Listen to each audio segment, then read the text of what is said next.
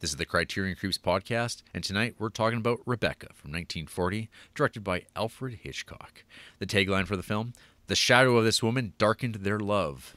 And the synopsis from Letterboxd Story of a young woman who marries a fascinating widower only to find out that she must live in the shadow of his former wife, Rebecca, who died mysteriously several years earlier. The young wife must come to grips with the terrible secret of her handsome, cold husband, Max de Winter. She must also deal with the jealous, obsessed Mrs. Danvers, the housekeeper, who will not accept her as the mistress of the house. So, RJ, uh, Yes. I watched this movie a couple years ago.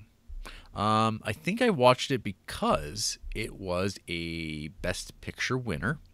And it was? Yeah. This bad boy won Best Picture. Um, and uh, it's Alfred Hitchcock. I've got this here uh, Blu-ray set that I think it's like Fox put this thing together, or MGM, and it's very convenient. And it's also why the Rebecca, Spellbound, and Notorious are all out of print from Criterion because they don't have the rights, um, which is fine because uh, it's all about that picture quality. And these movies look pretty good here in this box set so far. Um, next week we'll be finding out how Spellbound looks because I've actually never seen that movie. But we're talking, but we're talking about Rebecca right now. So uh, I watched the movie like yeah, like I said, a couple years ago. And I guess it didn't leave much of an impression. Uh, my Letterboxd star rating at the time was a big old three stars, which is very much a reflection of this movie's fine. This movie's like okay. I it didn't it didn't uh, speak to me, um, and I never wrote anything about what I thought about it. Um, So when we were watching it this week, I kind of went in being like, okay, well, I guess got to knock this one out. Um, but yeah, so this was the second time watching it, and I felt like it was a much better experience. Um, uh, I think it was a much better, uh, just like I don't know, more engaging story. I'm not sure if it's because in the intervening years of doing this podcast and watching these movies and paying attention to them in a different way that I was appreciating a lot of what uh, Hitchcock was doing here.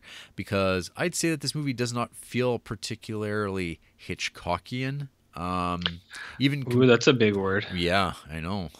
Because compared to even like uh, Lady Vanishes or the 39 Steps, uh, it doesn't really feel like it's the same director in some ways. And I can't really put my finger on it. Um, I was reading the uh, uh, Francois Truffaut Hitchcock interview book, and they, they, they actually made the comment about how this movie doesn't f- actually feel like it's directed by him, and even Hitchcock said so himself.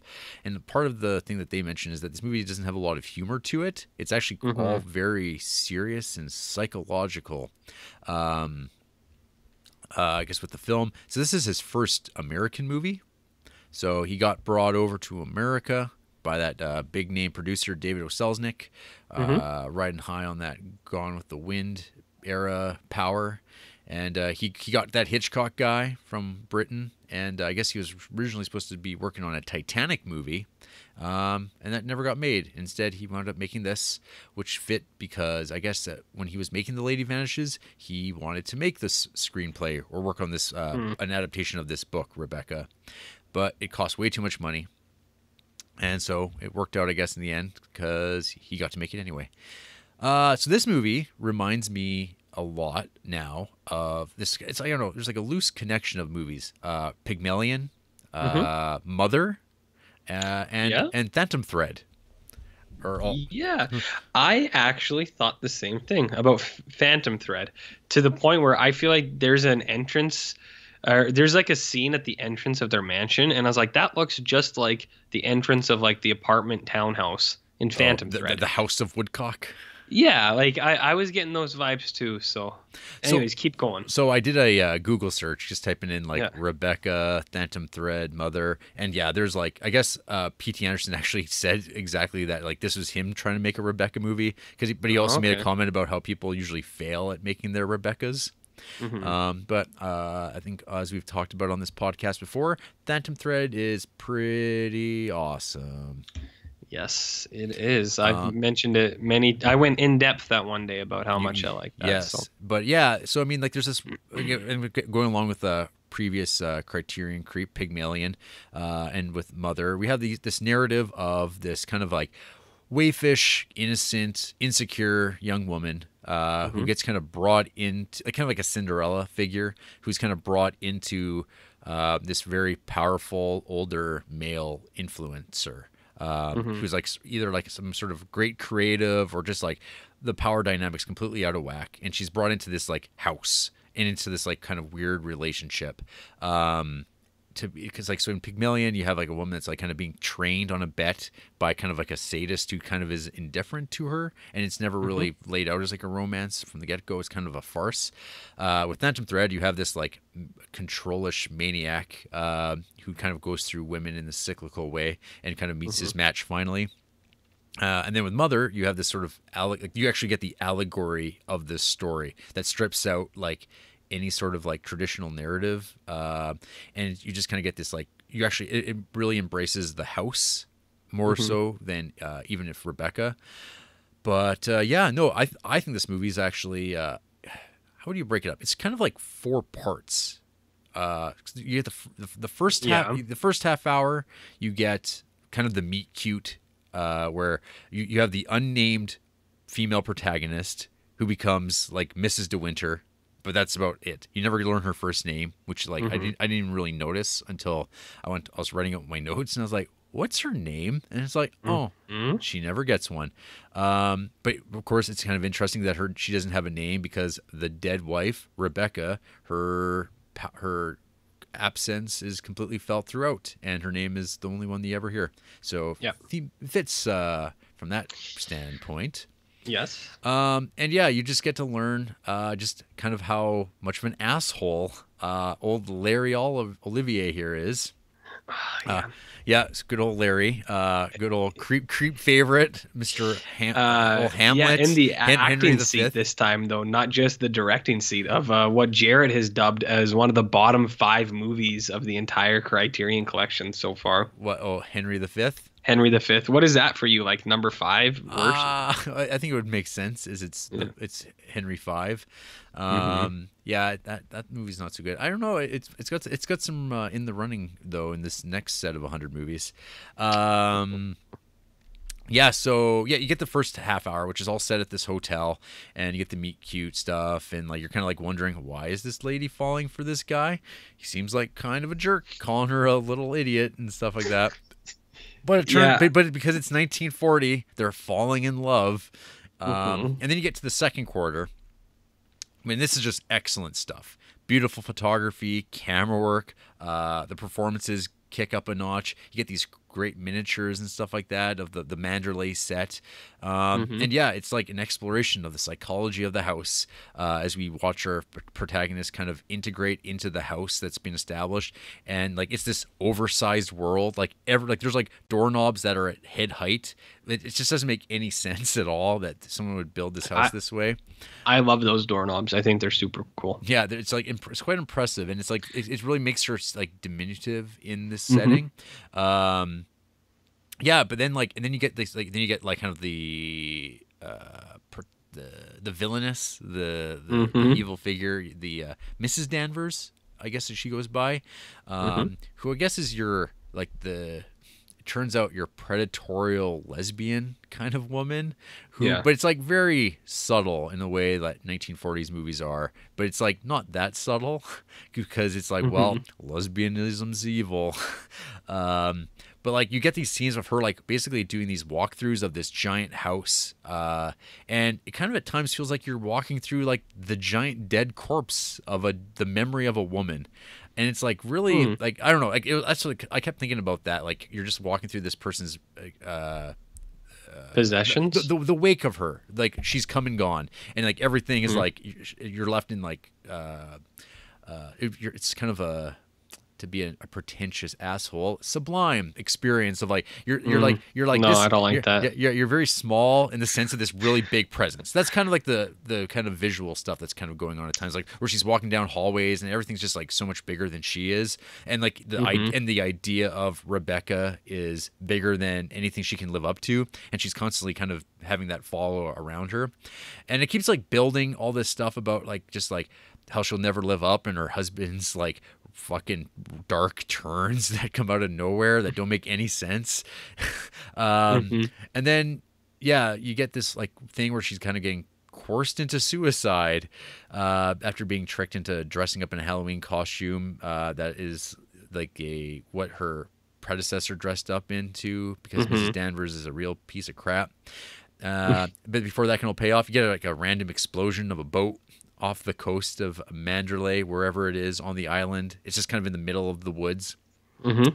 Uh, and then you get this big reveal that I think actually works really well after all these years. It does. Um, Yep. And yeah, you get uh, old Laurence Olivier, who just it turns out it's like, oh no, he wasn't in love with this woman and not able to get over it. He he fucking hated her guts, and Mhm. uh, he just he feels really guilty because he kind of killed her by accident. Um, Everyone makes mistakes. Everyone makes mistakes. Then he, you know, got rid of the body. Uh, so you got, you start Mhm. falling into the kind of the wrong man sort of uh, Hitchcock vibe. Uh, but it worked out okay because it turns out the same night that he got rid of her body and they went looking for her, uh, there was another dead woman, and he just went, "Yup, that's the one." But Mhm. that's all well and good. And he thought he kind of put it behind her, and he met this new lady, and they're going to hit it off, and then everything's going to be swell. He's he's not mentally damaged from this. Um, and then He seems pretty stable. yeah, but and then the movie kind of shifts into this procedural mode for like kind of the the final third and fourth, and uh, it's definitely like I felt kind of a come down from like the buildup of it. Mm-hmm. Because it's kind of like just like oh no, are people going to find out about this? But it's kind of like how in the ruling class from a couple weeks ago, where you have this like kind of world that like no one could possibly believe that this man from privilege could actually have done anything this terrible. And so they're just like, oh, you'll be fine. I mean, there's not a big deal here. um, and then finally, it all pays off. They find the right doctor who's like, oh yeah, she had she had cancer, and uh, and and uh, it was all a a an elaborate suicide to like fuck with people's lives because Rebecca's a bad bad woman. Um, and then things wrap up in Mhm. spectacular fashion with a really amazing big fire burn down sequence. Um, and you get this like really weirdly reminiscent shot of Citizen Kane's final shot of this big close up of like a burning R, which is Mhm. like kind of the rosebud thing. And it's like, oh, this movie came out like a year earlier, and while uh, that was in production, so I'm not sure if that was uh, a coincidence or just total uh, a ripped job by uh, Mhm. old uh, hack Orson Welles, Yeah. He is a hack. you know, and dead, just like That's why I don't watch like- any of his like movies. Warren Oates. Uh, Uh, Warren Oates, I think, is still alive. If Warren Oates isn't alive, but Kirk Douglas is, there's something real weird going on here, okay. and I don't get it. So Is I don't this- know. Is He- this kind of a Berenstein Bears Mangela effect here going on? Mangela, no one says it like that. Come on, Man, Manjula, Mandela, Manjula, Mandela, Mandela. Mandela. What the? This is preamble talk, man. This isn't YouTube review RJ. quality stuff. What? What, what, what, did you, what did you think of this Rebecca? Uh, Rebecca, uh, Romijn Stamos. Pretty good joke, eh? Uh, yeah, I did it. Um, so, uh, my history with Big Al. Uh, I've seen some of the big bangers, the all-time hits, that kind of stuff. I haven't seen a lot of these little guys, so uh, that's why this Criterion Creeps initiative is uh, playing off in our favor. Uh, like Lady Vanishes and this, and then even the next couple. hmm Um, it's probably movies I wouldn't have watched because I don't own that big fancy Hitch uh, box set that uh, so many people desire in their life. There's people who have jobs. There's people who have jobs and uh, you know normal lives and can afford the things they want and aren't just living in misery. Uh, so, anyways, living in misery like Rebecca. Um, I had never seen it, never heard of it. Well, or didn't know anything about it, I should say. Uh, I think this movie is pretty good. Uh, pretty pretty real good. Um, I didn't Pretty real good. Pretty real good. Uh, I didn't love it. Uh, I do think it is a really good movie though, um, for a few reasons. Uh, I think uh, some stuff that you touched on. Uh, I think that this movie does such a good job at like building this ghost story that isn't really about ghosts. Kind of like when you brought up Phantom Thread, that's what I was thinking about the whole time watching this. Was like this this uh, haunting presence that overtakes everything and it influences the like the everyday lives of the people and like the environment around you. Because uh, that's what phantom thread is like i think to a bit. I had no idea that uh, pta himself talks about rebecca but i can see it now. Uh, but for rebecca i thought they do like such a really good job at having that like I said, haunting presence. Uh, and I don't think it's even just about Rebecca, but like meeting expectations, uh, because for her, it's all about like living up to this kind of higher standard uh, that she's not used to, and it's something that she she doesn't really belong in. So she you you really you really empathize with her because she's trying her best and even when she does try, she gets like shit on for trying to not be herself. Well, cuz she kind of jumps from like one like shitty relationship. Spectrum. And it's, actually it's like a lot of uh bad ladies cuz you get like that uh Van Hopper lady who's like yeah. actually, who's in the very beginning uh which totally yeah she get, sucks hard yeah she's like but she's it's a great performance uh the yeah. woman that plays that she's really good it's like uh mm-hmm. one of those types of characters that uh they're they're not as they don't realize they're dumb and they're just or just like they think they're smarter than they are um and it's like so she goes from that kind of bad relationship into the relationship mm-hmm. with Mrs. Uh, Danvers, and then there's like the overall encompassing uh, Rebecca character. So lots of bad ladies. Yeah, a lot of bad ladies, man, bad hombres. Uh, so I think they do a really good job at showing that, and they do it in a few different ways. Like there's the direct, like verbal ways that they do it, but there's a lot of like visual uh, things that they do. Uh, there's one really good shot that I like when she like first it's like her first day after uh, like waking up in the mansion and she doesn't really know what to do like how to have breakfast and stuff like that and she sits down at the table and it's it's not like a long shot it's maybe like five six seconds but it's just her sitting at this huge table by herself and she's totally like at odds with what to do with herself. She's just kind of like, uh, what do I do now? I think that shows it in like a really good way. Uh, and then just I don't know. They're like what you said too, where you don't even know her name. Because uh, I watched this with Andrea, and she she brought that up too. She was like, "What's her name?" And I was like, "I don't think she has one." I was like, "I've only heard her them call her Mrs. De Winter," and I think that like builds it up really good too, because everyone refers to her as that, but then they refer to Rebecca as Miss De Winter as well. Yeah. And she's like constantly in this state of like not knowing kind of like not knowing where she fits into this whole this world this new world that she's dropped in because people want the other one. People talk about the other one but at the same time they're like you are you are her now. So be her. And she like can't really negotiate that. Like she can't fit in with what all these people want. And i think that's really good. Uh that that's what i think the heart of this movie is and the best part of this movie is like like I said, the ghost story aspect of it, where it's this like uh, overwhelming uh pre- like shadow that like casts over every element, like the people, the house, like everything. I was like, man, that's it's pretty good. I like that a lot.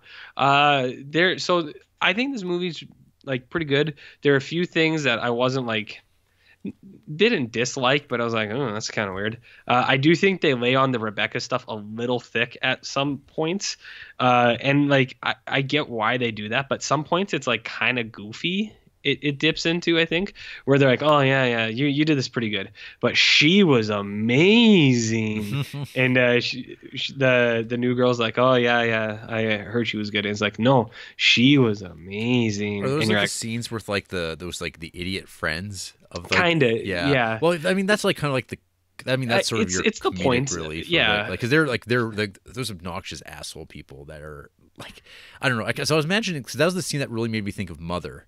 Was like how yep. Mother has those scenes with like when Ed Harris and Michelle Pfeiffer show oh, up, yeah. and you're just like exposed to like how awful they are. But it's like an awful that is far more like heavy-handed and. uh because yeah. of the way I mean contemporary filmmaking is and the way Aronofsky would handle like a like a visceral kind of like kitchen sink uh, realist sort of style where it's like it drives home how uncomfortable and horrible people are. Whereas mm-hmm. this movie again, it's like a product of its time, 1940, where it's yeah. like people it's gonna be a little softer and kind of like, huh, these people are kind of funny and charming and like they're they're just they just keep hammering on about this thing because that's what mm-hmm. people do. Um, they don't realize that oh, this actually is like kind of the wrong thing to be saying to somebody. Yeah, yeah, I I get that too, Yeah. and uh, that's like this other point too, where it's kind of like it's kind of like a catch-all thing where I, I get why they do it and it, it does really set the scene well but at the same time it comes off kind of uh, not bad like what you were saying like a product of its time so like some of the dialogue in this directed specifically at like the lead actress is like so harsh and like uh, like things like where, when you first like are introduced to people on the cliff and the guy's like why don't you get out of here you dumb bitch and then people like they say stuff like they don't say bitch but they're like you dumb old idiot or like you you such a little idiot." Yeah, lots of little idiots. A couple of them little anyway. little idiots and like the way that like you said they kind of like demean her and like belittle her a little bit like it makes sense because it's like building Just, adding all this pressure onto her just like mother. Just like mother. Uh and then the one that i thought was really like real bad was when he's like just promise me not to wear black satin pearls or be 36 years old. Yeah. and i was just like oh man. I was like that's a, such a shitty thing to say. Like well, what about the not one- even just like you dumb little little idiot. What about that line he drops about making violent love behind a palm tree? Yeah, uh, I wrote that one down too uh, because uh, when when we first heard it, I thought he said something else, and I was like, "Whoa, whoa, whoa!" I was like, "What's going on here? Why would he say that?" And then I was like, "Oh, violent love." I was like, "That's no better than what I thought I heard." so, yeah, like Uh, that's weird, and yeah, like he is just he's like a huge prick, yeah. and so there there's sometimes things like that where I- like I do think that it does show a good job of like why it kind of sucks for her. But uh, yeah, and then I think the reveal is really good. Um, I didn't see it coming. I was like, "Ooh shit!" I was like, "That's spicy, baby." I was like, uh, "That's a that's a nice little twist in there that uh, I didn't see uh, see from far away." But that also like this movie, I think, fumbles a little bit on what comes after that, and you touched on that a little bit. But I think like the tri- like the judge trials Yeah. that he's put in with like uh, the dude who was Bagheera in the Jungle Book cartoon, uh, that guy. yeah. Um, Yes. like those those judge trials where he's like, "Well, as you see here by this written letter, uh, I have uh, irrefutable proof uh, that uh, she was not suicidal." Like, I think all that stuff isn't great. Um, when when you were talking about how it's kind of like ruling class, where like, "Oh, he couldn't do it," I was like, "All right, I guess I can see it a little bit more," but uh, I I mostly didn't like that part of the movie Yeah. because I was like, eh, I'm not I'm not as on board with this where it turns into this weird like you said procedural and I was like this is like this movie's over 2 hours long. They really could have cut that out and I think the movie would have been better for it. yeah, because I mean, That's that's just me. Well, I mean, like, so this movie's like just like two hours, ten minutes or so, and like I'd say that, like, probably, like after you get the big reveal, the movie like Yeah. gets into the procedural stuff, and that's definitely like the least memorable part. Other than it's just like, how is he going to get away with this? And now it's he's, she's Yeah. got to help him and navigate this and get this guy who like was in a bad position. And then you Yeah. also have, uh, I mean, so like, yeah, the other thing, two things there uh, to follow up on the stuff with Rebecca. It's kind of like a, uh, I've seen some people reference it. It's like it's like a proto noir or kind of like a side noir where like Sure. you, you've seen all the film noir or actually all the noir stuff that you would see in a movie. It's only described to you after the fact in sort of this like uh, kind of prolonged monologue that he's giving to her at the kind of uh, the little cabin by the uh, the sea. Uh, Yeah. and like there's raw, such awesome camera work where you get like the recreation of like, and then she got up and she walked across the room, and you're just like the camera's following nothing except for like just like the empty chair, and then it goes up and it, it pans over where she would normally be walking. And it's really like it's really nice stuff. Um, but yeah, like you get that element of like she's sort of like the femme fatale, but you never see her, and she's already like taking care of herself. And like her whole idea was like to screw him over in the end, and now it's like her plan's Mhm. going to come to fruition, and it's about whether or not she's going to get away with it or not. And then just like reference to her, her like kind of like seducing the uh, the housekeeper, Mhm. um, and like there's like these weird little subtle things, and it's like I don't know how obvious they play now. Like there's this like thing about that I didn't know about until uh I took some art history classes about like about, about fur, like and like Mhm. how like that's like this weird like uh cunnilingus reference. Oh, Jarrett. Come on, man. This is this is the YouTube portion. people don't people aren't here for that kind of talk. Yeah. so uh, and frankly, I don't like it either. Well, the, how about this next part? So that that bit where uh, they're talking about uh, Mm-hmm. vi- violent love, uh, I was like thinking about what that sounds like. Uh, is that why you're making that sound right now? That grinding sound. Uh, Yeah. No, it's it's kind of a more of the sound of uh, apples being thrown repeatedly at a brick wall. Yeah, I agree. Jesus Christ. Um, I uh, I'm upset by your choice of where to take this conversation. Yeah. This is uh, on the level of the Incubus and some of the dialogue in that. I think you're Well, you'd have to you'd have to listen to the whole episode located on SoundCloud or iTunes to uh, get our Yeah. hot RJ's hot review of the 1982 classic The Incubus. that that's how I picture it. This uh, this violent lovemaking that they talk about in Oh. Rebecca. Yeah. Uh, and I can just picture John Cassavetes stepping into scene on Rebecca and just spouting out some lines about aggressive amounts of uh, fluids and things like that. That's So, right. Anyways, Uh, hey, how about that dog Jasper? That, that dog's pretty cute. Oh, That's a, is that a cocker spaniel? Something like that. Uh, there's a scene where he's like in the side, like in the the side of the frame, and I don't think he's supposed to be there or something. it's really funny, uh, and I was like, oh, that's super cute. I like this dog. I like this Jasper guy. Yeah, he's a, he's a good boy. He is a good boy. Um, I'm also kind of on board with that uh, that gross uh, big lady from the start uh, because she's doing stuff like she's just laying in bed and they give her like a shot of Nyquil or like something and she's like, ugh, medicine. I need chocolate. and she's like, I need to drown that out with chocolate. So she's just chasing uh, like medicine with like straight candy, and I was like, yeah, I can get on board with that. Yeah, yeah. And then you get kind of her. Uh, yeah, the, the interactions with her and uh, Mrs. De Winter, uh, the future Mrs. De Winter, are like really well done because like there's like the whole thing of her like playing up her like uh, kind of femininity when it comes to like talking to uh, Larry Ol- Olivier, and she's like, oh yes, I want- very want to be very complimentary and be very helpful to this very important person, but as soon as he's out of the picture, she just fucking dumps hard on her. And uh, Yeah. I I think that's uh, that's pretty real. It's a pretty real experience for I think a, a lot of women. Um, Oh, that's real. yeah. I also liked her presumptiveness that uh, he wanted to bang her.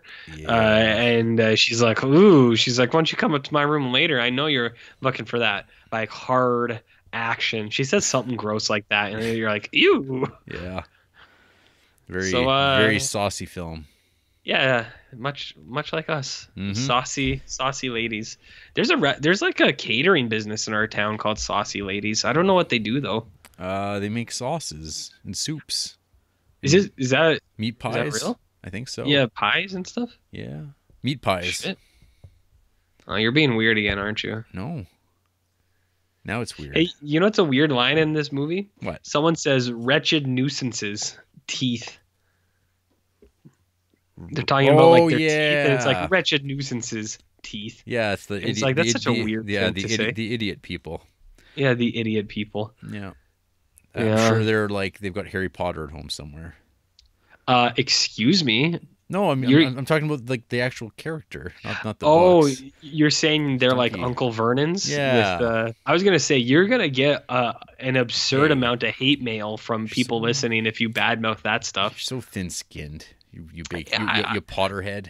I didn't say from me. I said from fans of the show, Mm, the people yeah. listening right now, You're- and maybe you'll get hate mail for once instead of me. for once. Yeah, it's not coming anytime soon, buddy. I'm amazing. I'm a great specimen. Oh God, I hope someone just fucking tears you apart soon. The way that my right, like like in the been- Incubus. Yeah, like in the incubus, you get your uterus destroyed, like a dump truck full of sperm driven through your uterus. I hope Jesus is what Christ! Wow, this is taking a dark turn here with Well, That's what Um, happened. Yeah. Wait, whatever.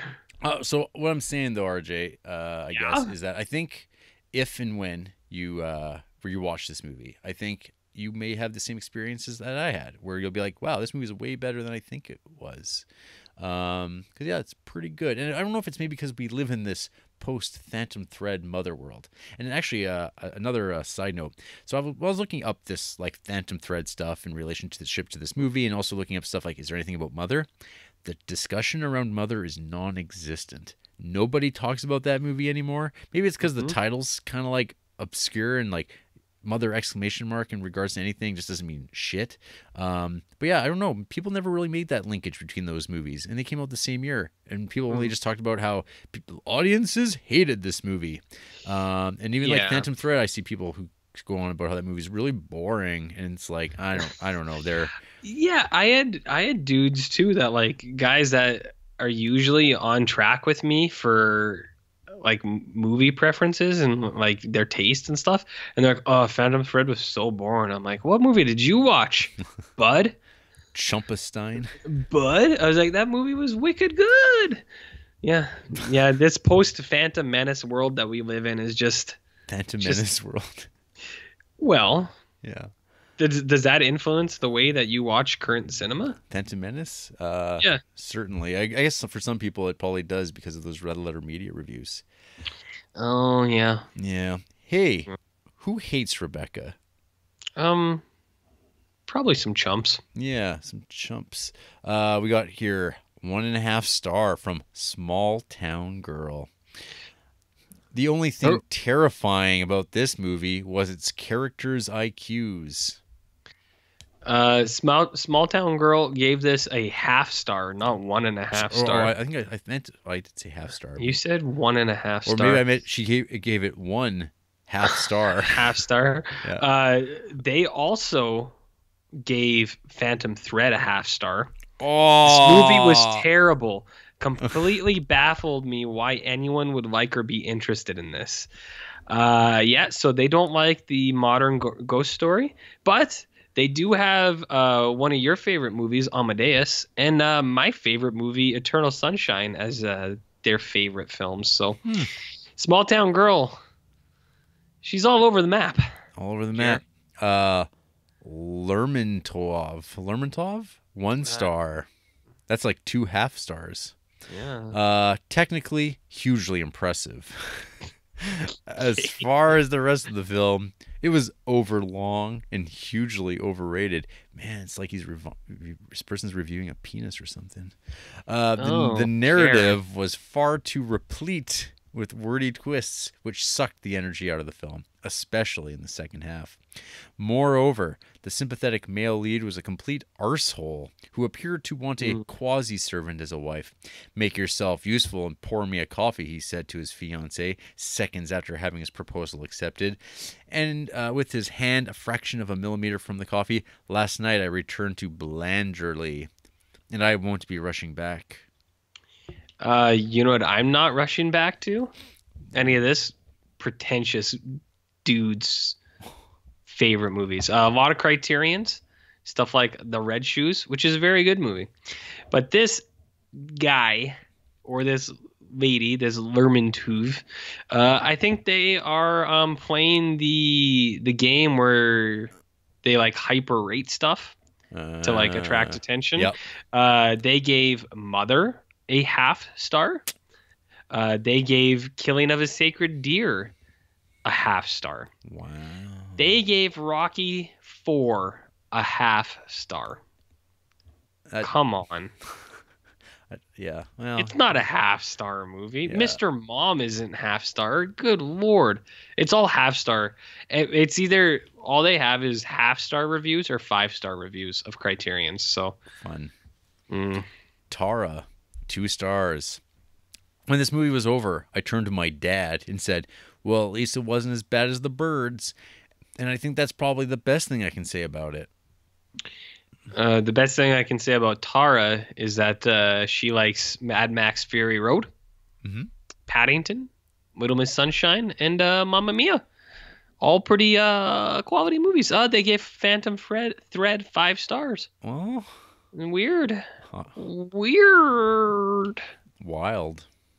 Weird, wacky, and wild. You got any more brain One, busters? one more, one more. Nora, two stars. I get it, Hitchcock. Lesbians are evil gaslighters, and bi women are manipulative sex fiends, and the beautiful hets get to live happily ever after. The movie looked okay, I guess. Um, one of their favorite movies is that movie Bound. I think that's a lesbian Yeah, Movie? It's got some lesbianism. Well, lesbian action. Uh, also, Fiddler on the Roof. Uh, one of my favorite movies, Men in Black. Whoa. Oh, wild. What did this person give five stars to? Uh, Matrix, Men in Black, Do the Right Thing, Moonlight, Autumn Sonata. Huh. A lot of Wachowski movies. Speed Racer, five stars. Oh yes, they identify with those uh, trans heroes. Yeah, I never seen Speed Racer. Was it any good? I tried watching it. I just I couldn't get into it. Yeah, that's what she said. Ew. Ah, well, there you go. You can't please everybody. That's Um, okay. any last thoughts here about Rebecca? Uh, no, I think Rebecca's pretty good. So, like I said, I thought it was pretty real good. Um, I have some small problems with it, but uh, kind of maybe like what you said. Maybe uh, upon rewatch years later, uh, those problems won't exist anymore. Yeah, I'd say that like the uh, that first half or a little bit more than that is like really really good. Uh, everything once they get to Manderley and wandering around that mansion, where you have like her Yeah. just being like followed around by these like decrepit old people who just like no matter where she goes, she's just being followed and followed and followed, and they're being very helpful, but it's just like awkward and uh, all that stuff. I think is like really well done. Um, it's a great space.